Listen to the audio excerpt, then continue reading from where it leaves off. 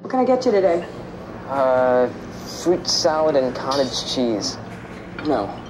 Uh, bacon, cheeseburger, and french fries. And, if you could make them really greasy, I like them greasy.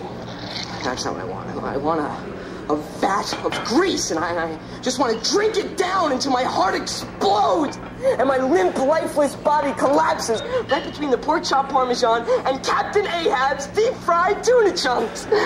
Would you like slaw with that? MTV. Battered bone chunk, deep fried honey glazed, plugged in and ready to serve.